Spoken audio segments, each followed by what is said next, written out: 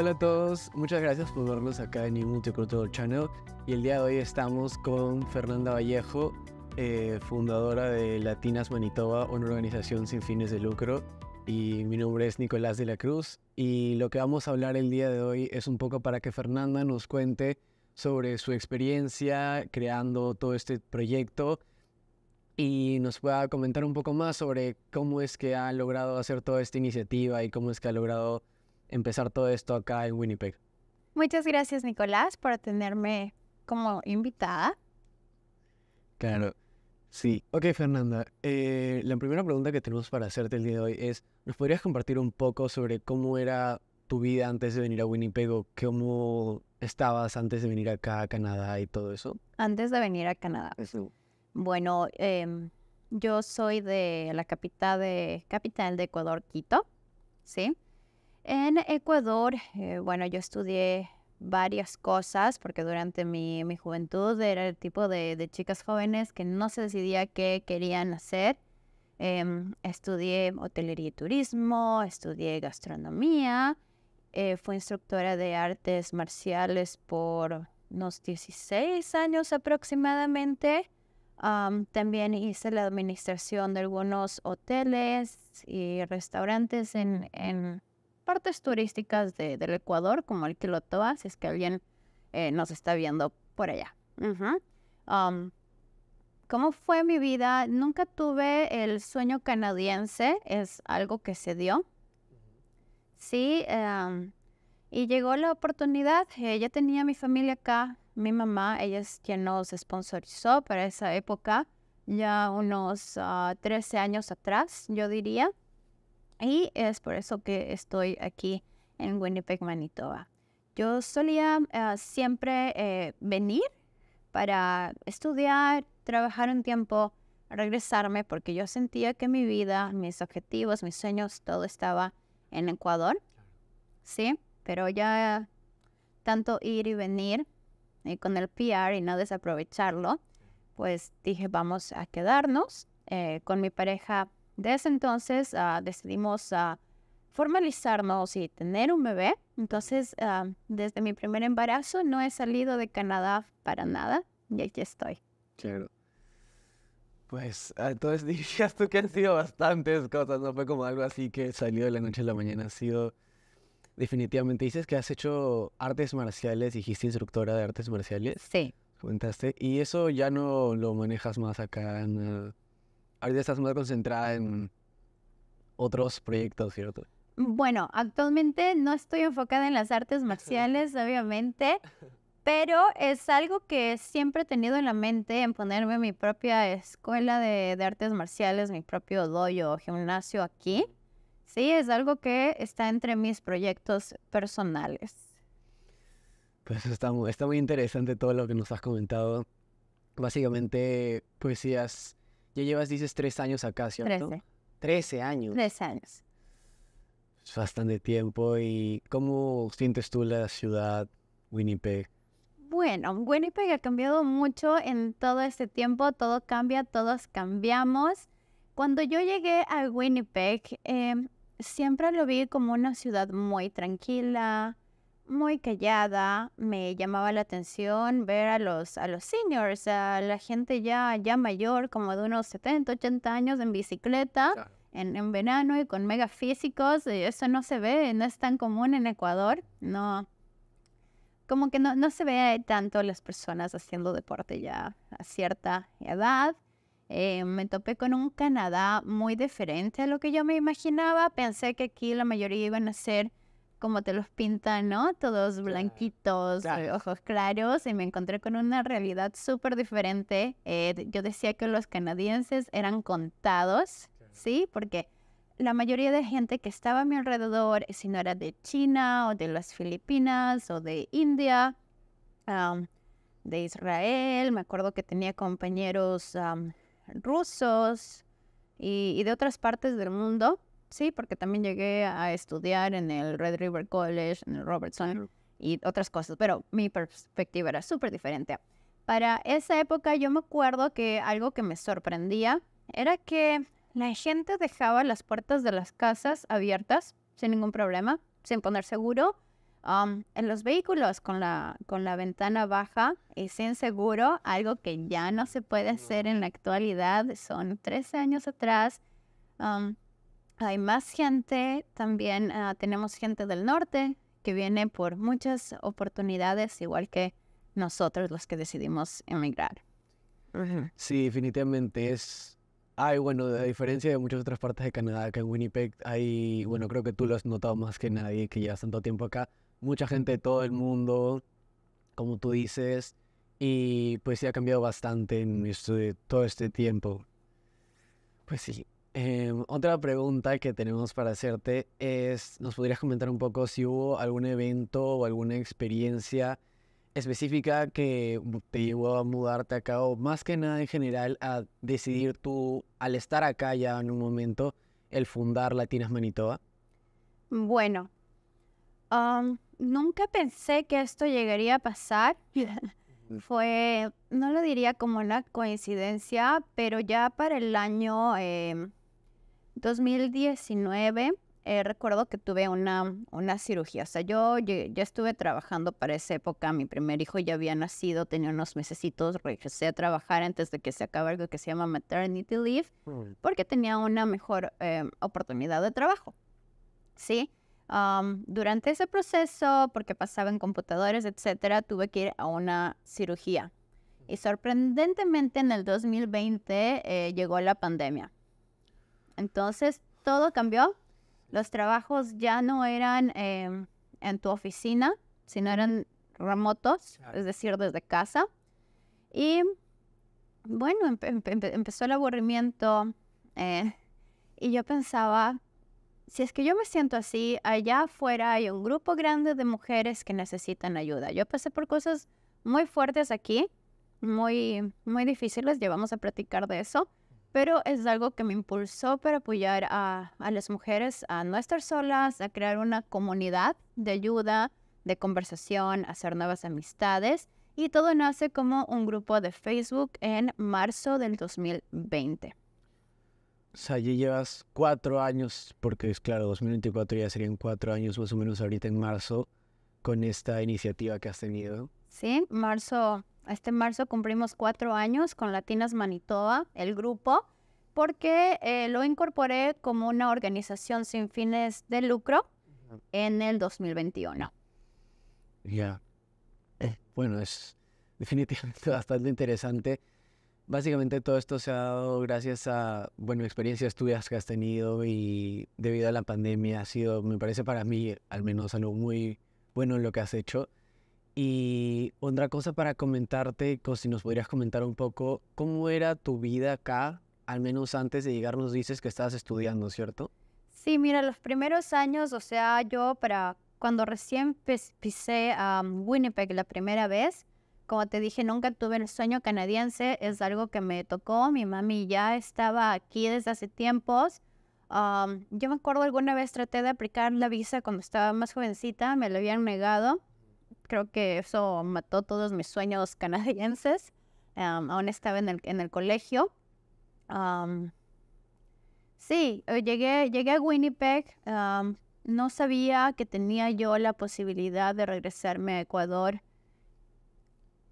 porque ya tenía el pasaje de regreso. Es algo que, que bueno, que por motivos de una madre, tal vez se los esconde se me, se me fue escondido, se puede decir. En, escondieron el, ticket. Yo no sabía nada hasta que dentro de unos meses me enteré que había perdido el vuelo y, y no sabía qué había pasado con mi pasaporte. Entonces, cuando tú eres joven y, y, y sabes que no quieres estar aquí, como que te golpea fuerte, ¿verdad? Pero ya para ese entonces, cuando me enteré de esta noticia, yo ya estaba estudiando inglés en, as second language, English as a second language en el Red River College. Y bueno, me tocó echarle muchas ganas, muchos ánimos. Yo cuando llegué pensé que tenía un buen inglés en Ecuador, ¿verdad? Porque tenía buenas calificaciones, ya que trabajaba en el ambiente eh, turístico, eh, hablaba con gente que hablaba inglés o francés. Mi francés no es tan bueno, pero como que no se defiende, ¿no? Y al estar acá me di cuenta que no, que el inglés que yo pensaba que era muy bueno, no era, no era nada, tal vez sería un, B, un B1 para ese entonces. Y en la universidad del Red River College es muy buena, pero me marearon. Entonces decidí dejarlo. Para esa época ya me había enterado que tenía el pasaje de vuelo um, y lo había perdido. Eh, busqué un trabajo. Mi primer trabajo aquí fue en Don Pedro's Mexican Food eh, como um, chef secundaria. Eh, mi área era el área fría y tenía una buena paga para esa época, pero el amor me tenía cegada y hasta que pude eh, reunir para poder regresar a Ecuador. Entonces, siempre yo trataba de estar como seis meses aquí o el tiempo que yo aguante, estudiar o trabajar y regresarme allá, pensando también en que no podía perder mi, mi residencia, ¿no? Entonces, el no perder la residencia era algo que me empujaba siempre a tener que regresar, además de venir a visitar a, a mi mamá, a mi papá, a mi hermano, a mi abuela, a mis primos, a toda mi familia que ya estaba aquí como por mucho tiempo atrás, unos 30 años, digamos. Claro. Entonces sí, fue una cosa bastante, como tú comentas, me doy cuenta, bastante heavy. Definitivamente tú ya tenías ese trabajo y el hecho de tener que volver ahí o venir acá, me imagino que habrá sido algo que tú estarías diciendo dónde estoy, dónde me quedo. Sí. Voy para allá, voy para acá, ¿qué hago? Mira, yo eh, siempre he sido una persona como que muy muy libre. No quiero usar una palabra como hippie, pero sí eh, me gustaba hacer artesanías, ser mochilera. Em, ese era mi, estilo de vida, más o menos. Sí, y acá, por ejemplo, en Ecuador era fácil para esa época solo alar dedo y que, que un carro pues, pues te lleve a otro lugar, ¿no? Claro. Uno, uno de jóvenes un poquito más uh, arriesgado, atrevido, algo que aquí no se puede hacer, literal. Um, pero sí, la vida ha cambiado. En Ecuador eh, tuve buenas uh, altos y bajos. Vengo de una familia que tenía su, su propia fábrica y que nos iba muy bien. Hubo uh, problemas económicos en el Ecuador, lo cual hizo que mi mami venga y se junte con su familia. Um, yo también estaba siempre muy, muy esforzada, pero eh, por mi pareja tuvimos buenos momentos, malos momentos, tuvimos todo, perdimos todo. Em, a través de esto eh, logré conocer personas que jamás pensé que trataría en mi vida.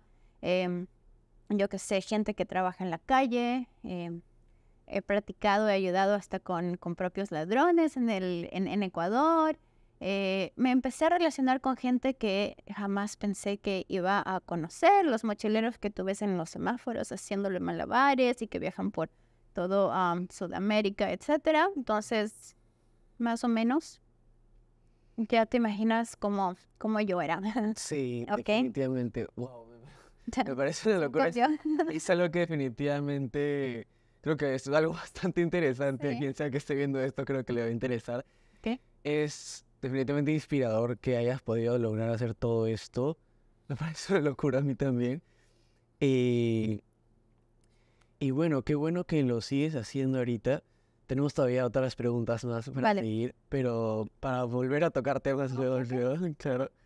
Eh, luego, bueno, eh, ¿cuál fue, bueno, creo que ya nos has comentado esto más o menos, pero ¿cuál dirías tú que fue como la diferencia o cosas que más te, de alguna manera, llegaron a afectar, si es que te llegó a afectar algo entre Ecuador y estar acá? Bueno, al menos en esa época, ¿no? Ya que todo era mucho más distinto a como lo es ahora definitivamente. Pero en esa época, ¿qué es lo que tú dirías como extraño esto de Ecuador o tal vez este es mejor acá? La libertad que tenía, la libertad que tenía, porque para esa época yo no vivía con mis papás.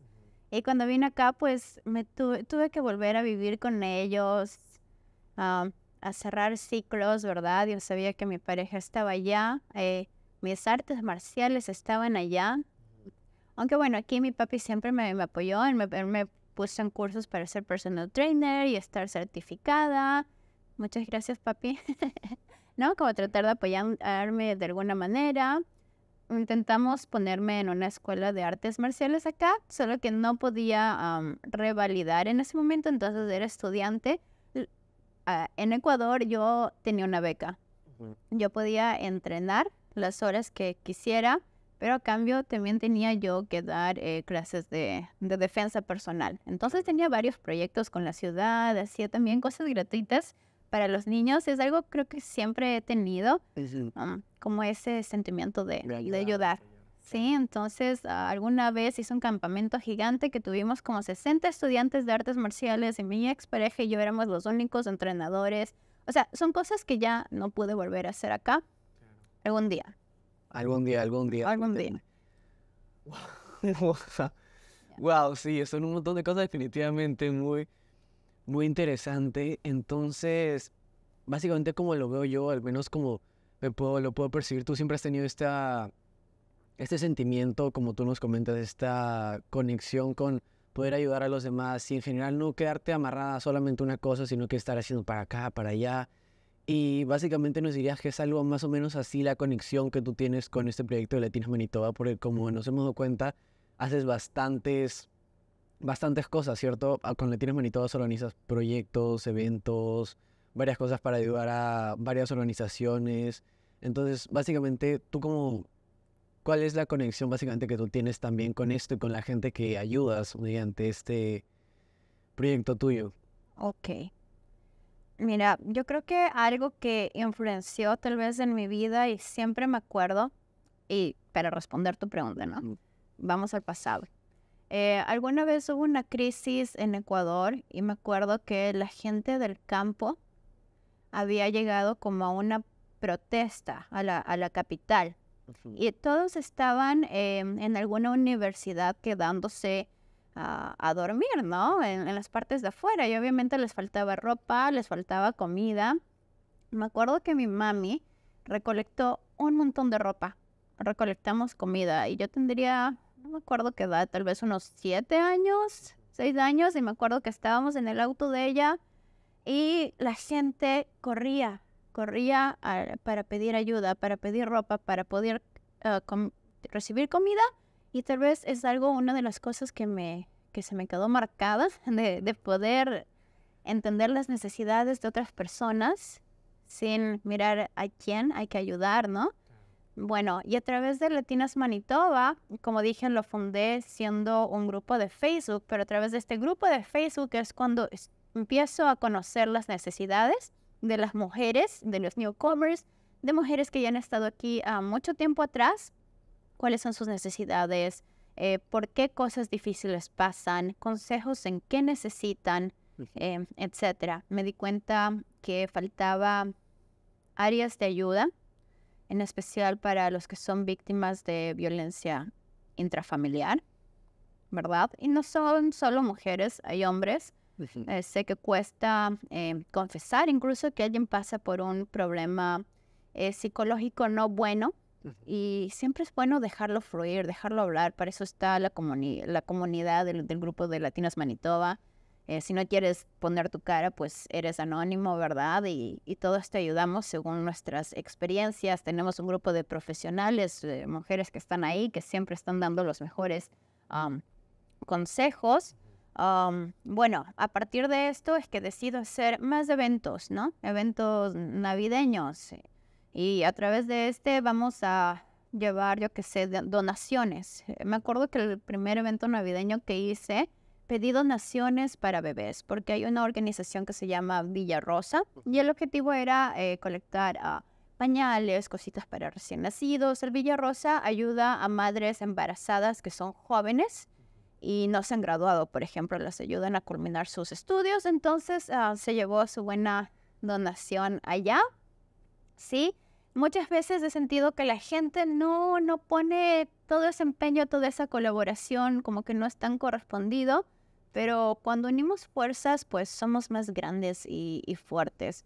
He desarrollado proyectos como elaborar tu resumen, ¿sí? he invitado a personas dentro del programa de Latinas Manitoba, Facebook, porque antes yo no, yo no sabía nada de, de Instagram, sabía que existía, pero no, no lo paraba bola. todo, todo, se manejaba dentro del grupo.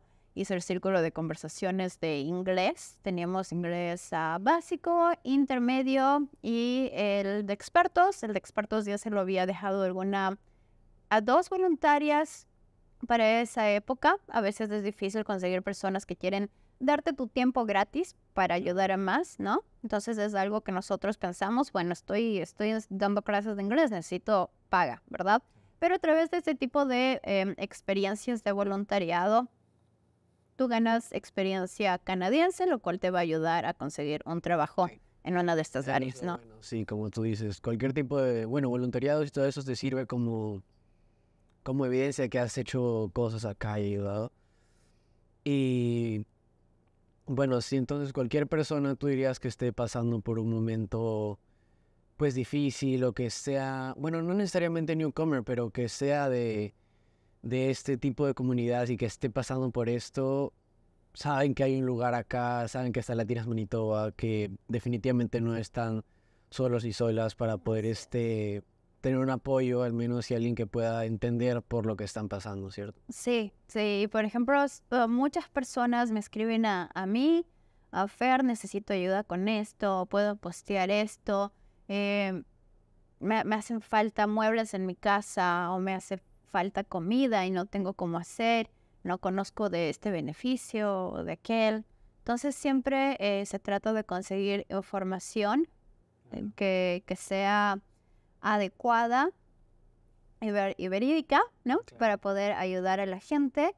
Eh, algo que hace Latinas Manitoba también hacemos un resource um, referral, entonces te referimos a diferentes uh, resources que hay en la ciudad, a otras organizaciones. Por ejemplo, tienes un problema migratorio. Eh, aquí hay abogados migratorios que son uh, buenos, pero también está el Immigrant Center, que ahí tienen su grupo de Settlement Services que te ayudan a sentarte en la ciudad y aprender eh, muchas cosas. Ok, ok, sí. Eh, gracias por eso, definitivamente está muy interesante todo lo que estás haciendo. Luego, otra pregunta que tenemos también es, ¿cómo describirías tú el impacto que este tipo de organizaciones como las tuyas o Latina Manitoba en sí tiene acá en Winnipeg y tiene acá en la comunidad a la que va referida todo este proyecto que tú estás teniendo? Bueno, es súper importante porque muchas veces nosotros no sabemos qué recursos tenemos a la mano. Antes de crear Latinas Manitoba, yo necesité ayuda. Yo necesitaba ayuda de alguien. Tal vez no, no habían grupos de apoyo como, como este. Sí, o por lo menos no lo habían en español. Sé que habían eh, organizaciones eh, alrededor de Winnipeg que te podían ayudar, pero para uno es muy difícil platicar, ¿sí? Entonces, tener este tipo de, de grupos, de organizaciones con las que te puedes respaldar, te dan una confianza de poder expresarte, de sentirte escuchado, de que alguien te entiende ¿verdad? Y que no estás solo en el proceso y si se necesita una solución, no es que te ofrezco la solución, pero tal vez te puedo acompañar en el camino, ¿verdad? Y lo mejor de todo es que nada eh, se divulga, ¿verdad? Siempre eh, respeto todo lo que es la privacidad de las, de las personas, ¿sí? Sí. Claro, sí, porque bueno, tú también sabrás que cuando uno está pasando por un momento difícil es muy fácil cerrarse y sentir que no, no hay ninguna solución ni nadie que te pueda ayudar y si no tenemos el conocimiento, si no existen ese tipo de organizaciones como la tuya, pues es mucho más complicado llegar a salir de eso. Sí. Y a muchos nos cuesta decir que necesitamos ayuda. Definitivamente. Luego, otra pregunta que tendríamos es, ¿cuál es o cuál ha sido el desafío más grande que has enfrentado tú al crear este proyecto? ¿Cuál ha sido ese momento que creo que todos hemos tenido en el que dices, esto no va para ningún lado, voy a tirar la toalla, estoy cansada, no me sale, pero que has dicho, no, sigue y ahora es lo que es? Ya. un desafío muchas veces uh, sentir que estás ayudando a muchas personas, pero te sientes sola. Sí sentir que, que, tú eres la única persona que está poniendo de parte para construir esto. Em, pero, por ejemplo, em, mi segundo embarazo, ¿no? Ya había nacido mi bebé y fue la primera vez que decidí buscar ayuda entre miembros del grupo. Em, algo que se llaman moderadoras. Entonces tuve algunas voluntarias, las chicas como que ya me ayudaron ah, o me ayudan porque siempre son, vamos cambiando de moderadoras y ahorita tengo un grupo hermoso que ha estado conmigo un buen tiempo.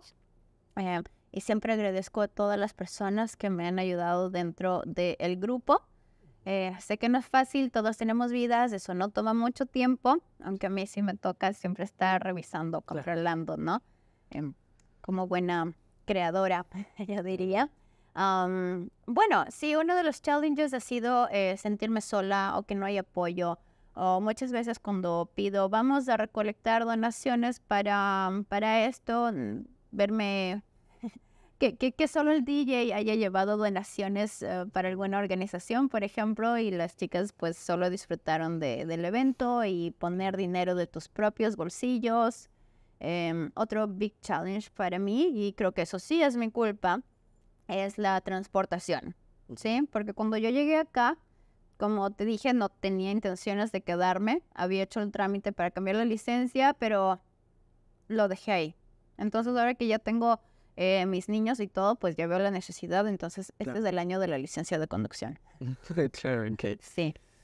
Otro big challenge es que no tengo una oficina todavía donde poder llevar a cabo este gran sueño, Latinas Manitoba. Mi objetivo es hacer un community center donde también pueda tener em, un pequeño shelter ahí con un, por lo menos dos dormitorios, un baño para que mujeres o personas que están en momentos de, urgencia, de peligro, tengan donde, donde llegar, ¿no? Em, se dio casi una oportunidad, pero a lo mejor las personas cambian de parecer, pero sí es frustrante que por lo menos no te digan, no te puedo ayudar cuando ya te están dando la llave en tu mano. Es algo que, que me chocó eh, de diciembre a enero y nadie, nadie supo nada, pero pero bueno, así es la vida. Claro, dirías la...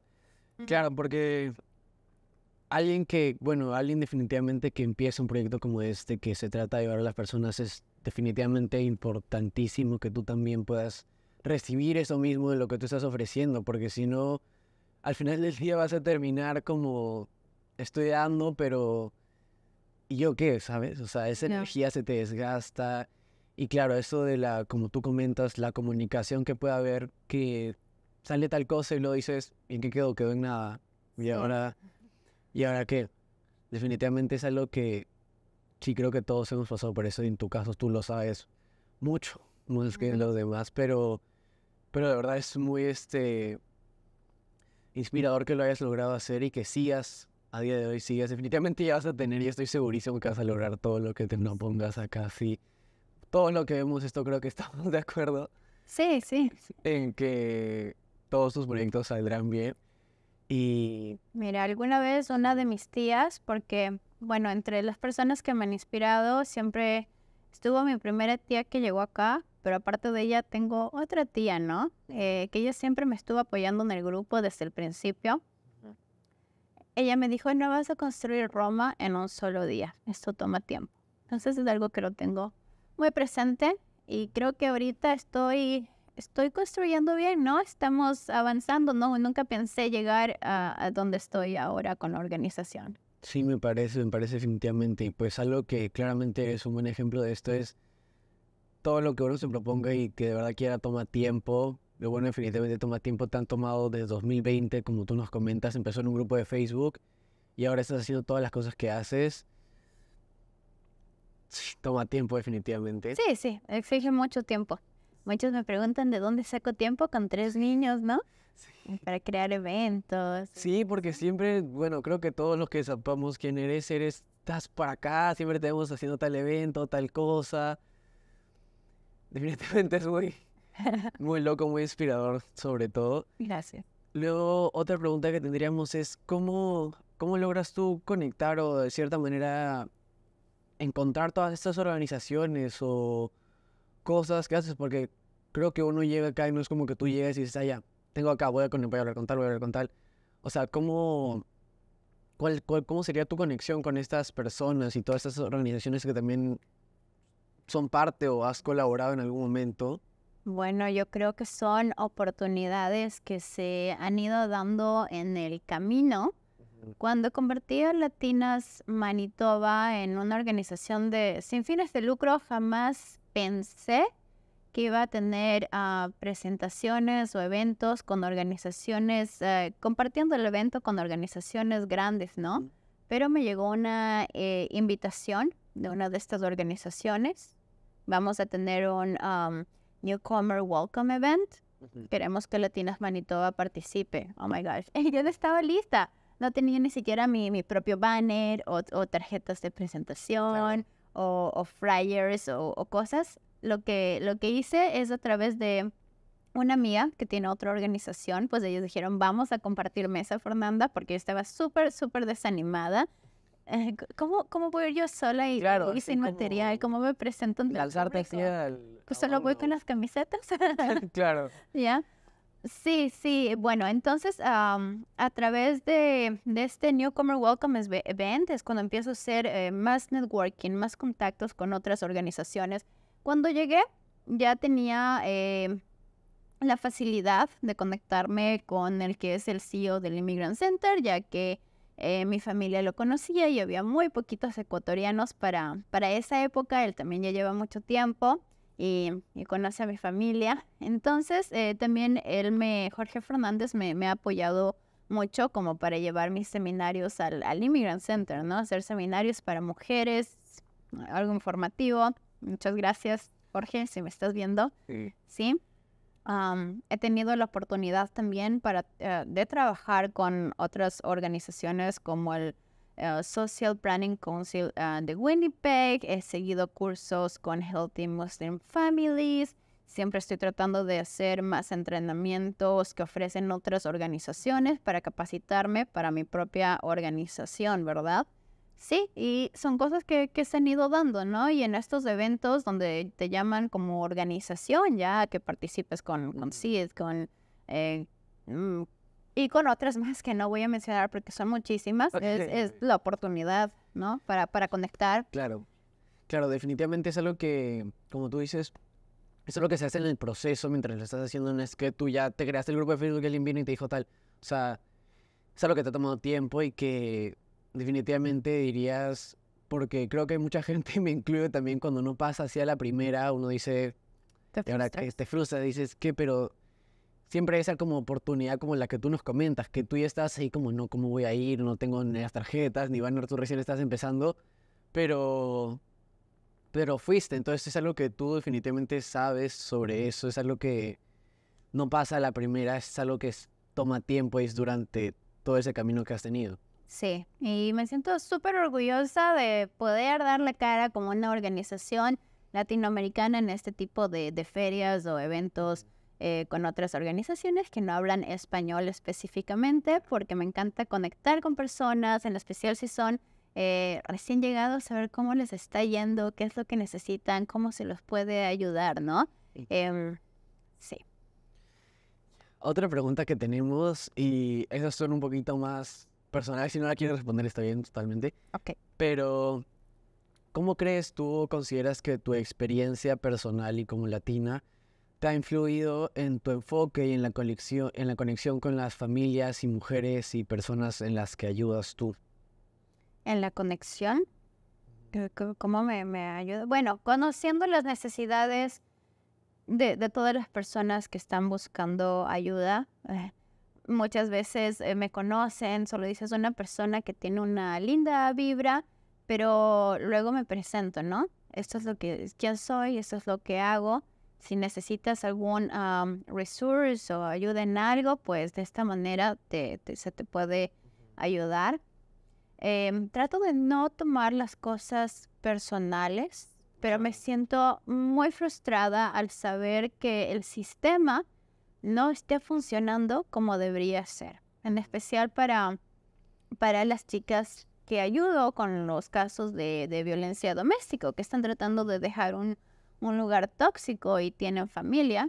Eh, tuvimos el caso, y, estoy muy orgullosa de ella actualmente, pero tuve el caso de esta chica, la, la refería a una organización y, ella tenía que salir de este lugar donde estaba siendo maltratada por más de 12 de 12 años, se puede decir.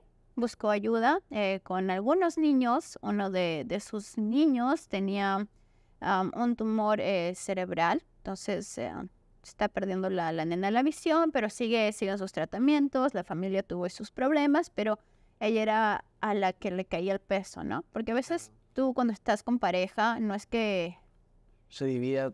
Te, te puedes dejar las cosas fluir, sino te desquitas con el que parece más débil.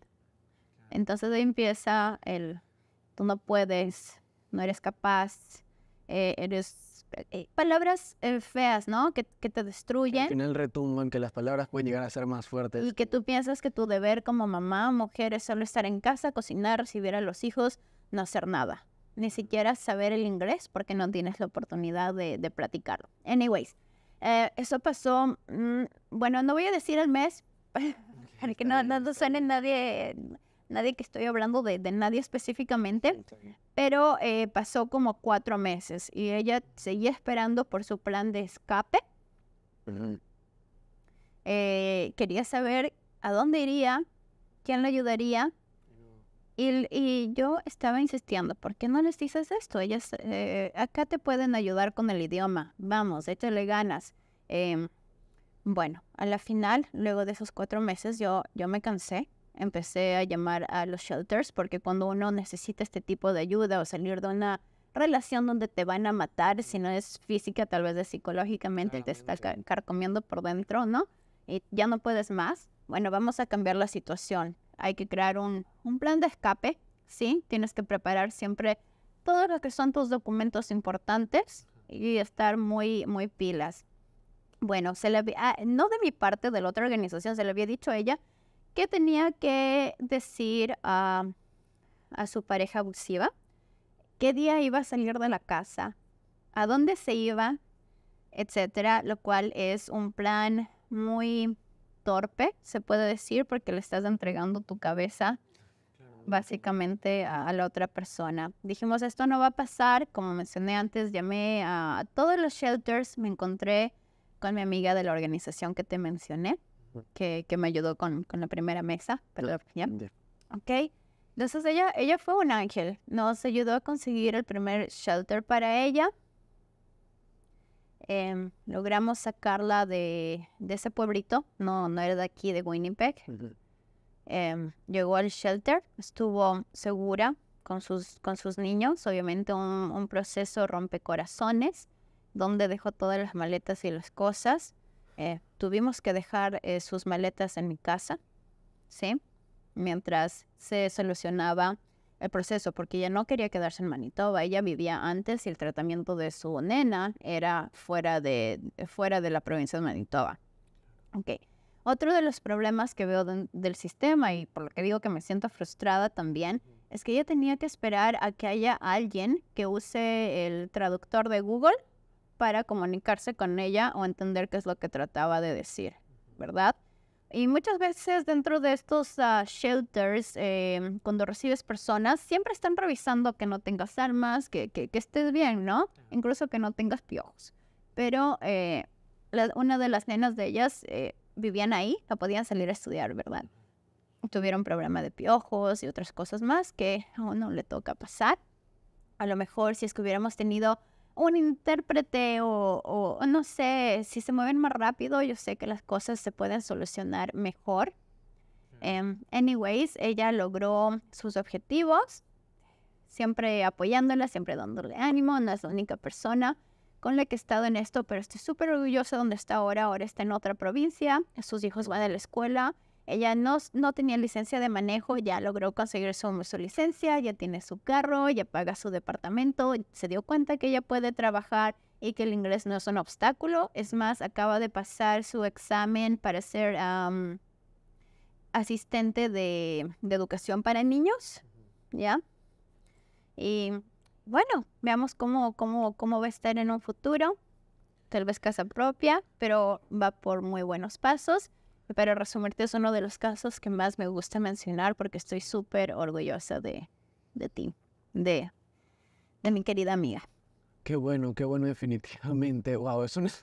Oh, tienes unas historias, pero creo que definitivamente cualquier persona que esté escuchando ahí y que esté pasando por algo mismo saben que puede que no sea el mejor, este, la mejor organización como tú dices, que hay mucho desorden y cosas así, pero al final del día sí se puede por más personas como tú que de verdad puedan ayudar a la gente para que personas no tengan que pasar por ese tipo de situaciones y mucho menos cuando tienes hijos o cosas así, porque es mucho más, me imagino yo, difícil, desgarrador, muy, muy fuerte. Luego, otra pregunta que tendríamos para ti, Fer, es ¿cómo ves tú una visión o qué es lo que quisieras? Creo que ya nos has comentado en parte, también nos dijiste, pero ¿cómo verías tú de acá a un par de años o qué es lo que quisieras lograr más cosas con Latinas Manitoba? construir un imperio. no, como te dije, quiero, mi objetivo es hacer el community center, hacer algo como una casa latina grande donde podamos llevar a cabo eh, varios, ah, ahora ves que muchos eventos de baile, grupos de baile, que esos grupos de baile tengan su lugar donde poder presentarse o nuestros músicos, hacer un espacio para ellos, nuestros artistas, que haya el espacio para su galería de arte, nuestros chefs o personas que ya tienen eh, permiso para cocinar, pero no tienen la cocina industrial a la mano o no pueden ah, pagar para eso, aquí está el espacio, cocinen y, y atrás de los permisos, ¿no? O ayudarles con, con su negocio desde ahí. Ah, también muy importante, pero también ya hay una organización que ahora está haciendo eso y muchas felicidades a Cami Colombia, es hacer un espacio para los jóvenes, ¿no? Porque los jóvenes necesitan eh, también salir de casa, no estar solo en televisión o con los videojuegos o tal vez con amigos tóxicos que te van a llevar a hacer cosas malas, literal, porque luego se te destruye la vida. Eh, hay, hay, grupos de música, no solo con Cami Colombia, sino también con la organización de ecuatorianos. Eh, por ahí Latin Roots está haciendo grupos de baile. Sé que los grupos de chilenos también tienen su grupo de baile y entre otras actividades. Ahora los chicos se reúnen hasta jugar soccer, eh, sí, ¿no? Hacer diferentes actividades. Qué bueno, sí, o sea, sí, estoy seguro que lo vas a poder lograr definitivamente y me parecería una idea genial, genial, ojalá poder verlo cuando lo hagas y con el apoyo que tienes de muchas organizaciones que ya me estás comentando, como lo has venido haciendo, definitivamente podrás.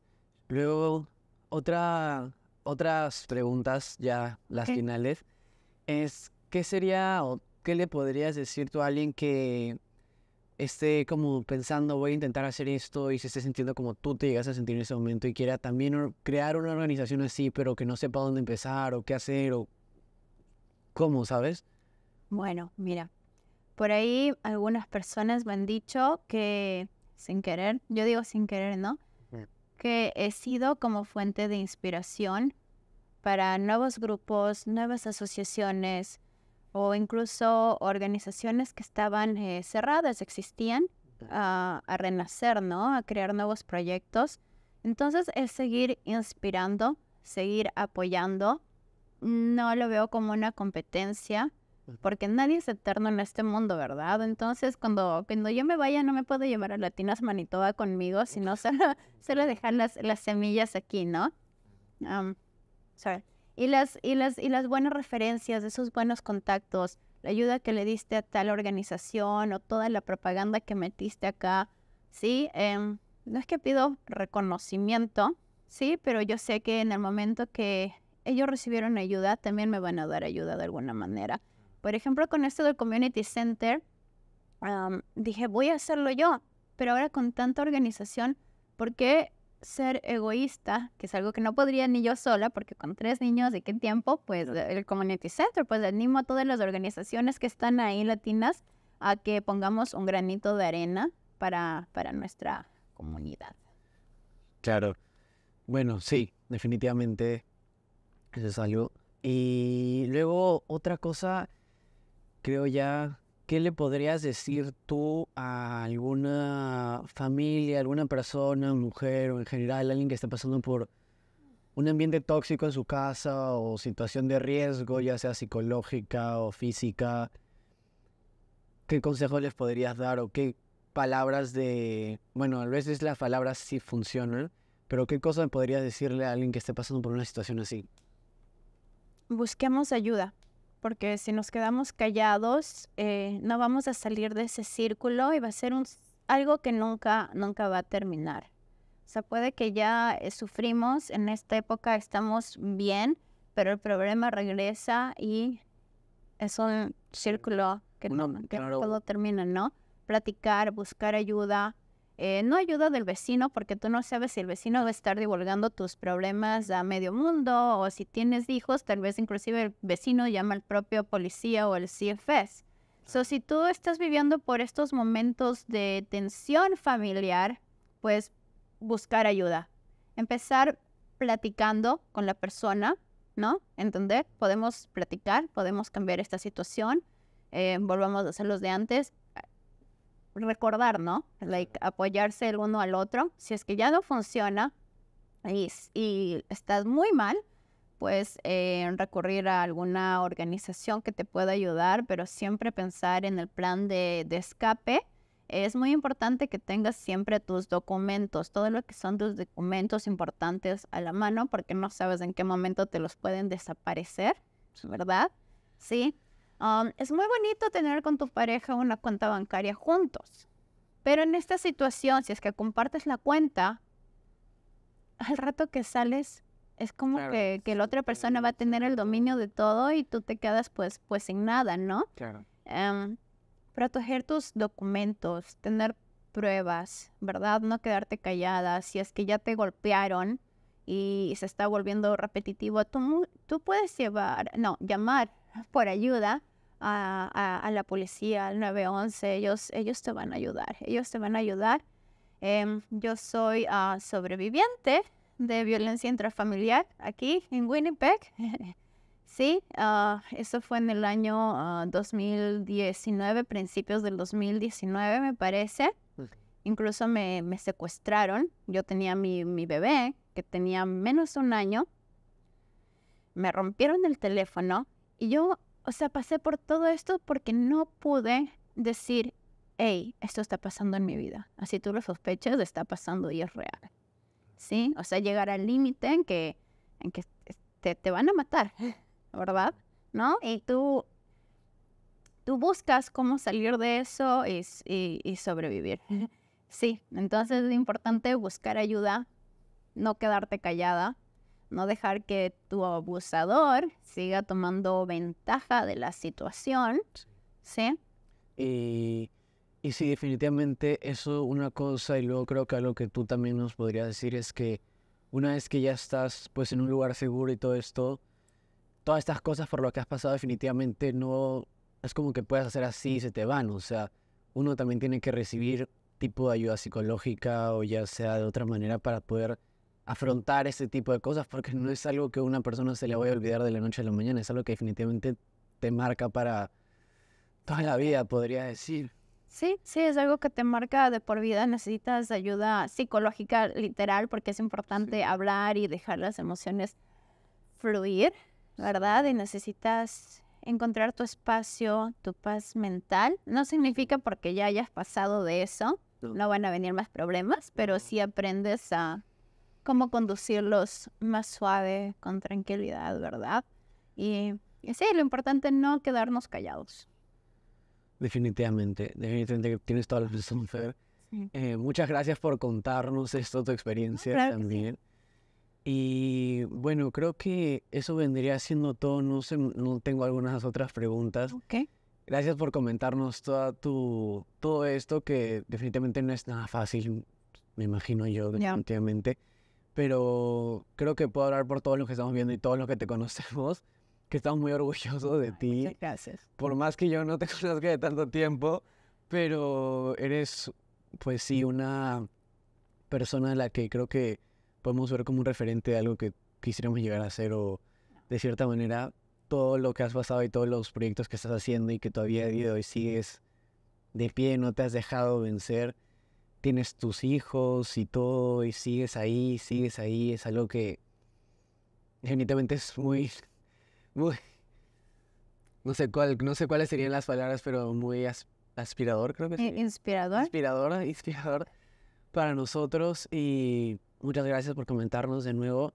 ¿Hay algo más que tú quisieras decir antes que ya terminemos sobre este tema?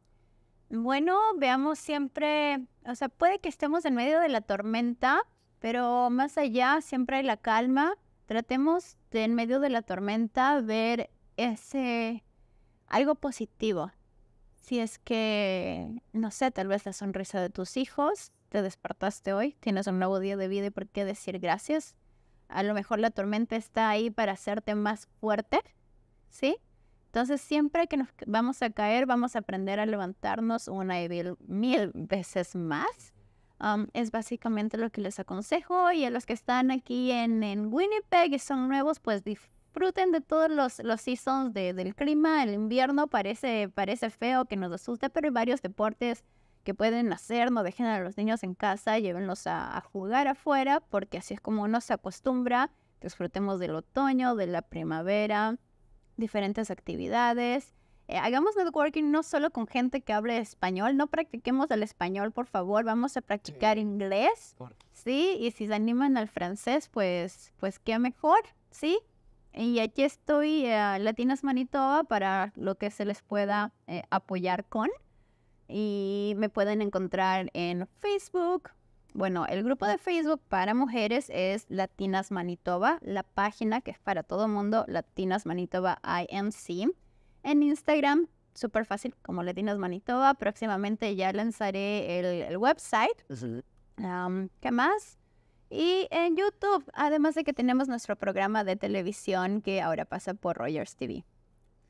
Listo. Bueno, muchas gracias, Fer, por contarnos todo eso todo. Em, creo que eso sería todo. Como tú dijiste, que te sigan tus redes sociales. A los que están viendo acá también nos pueden seguir en nuestras redes sociales. Y muchas gracias nuevamente por comentarnos, por darnos un poco más de tu vida personal y cómo has logrado hacer todo esto. Y pues creo que eso sería todo por hoy.